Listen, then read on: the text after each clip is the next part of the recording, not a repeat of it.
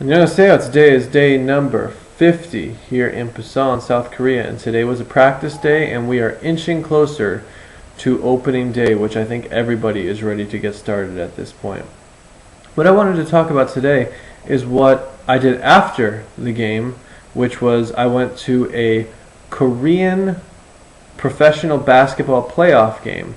And this was quite a show. Every time there's a public event in Busan, it is a show and uh, tonight was no different. The uh, Busan team really played well. They won by over 30 points in a playoff game, and uh, so everybody in Busan that went to the game went home happy.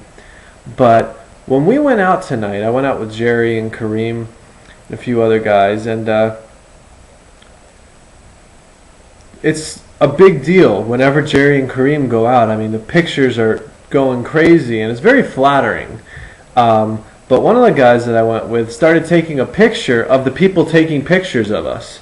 So, uh, yeah, you know, you got to have a little bit of fun every once in a while. I hope I get a few of those because it's uh, it's pretty funny.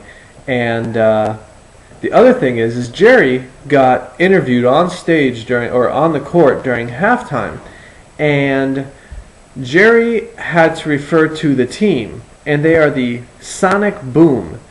And nobody here you know understands the language well enough to figure out what the plural of a, if you're one sonic boom is the group a sonic blast are they sonic boomers? Are they sonic booms?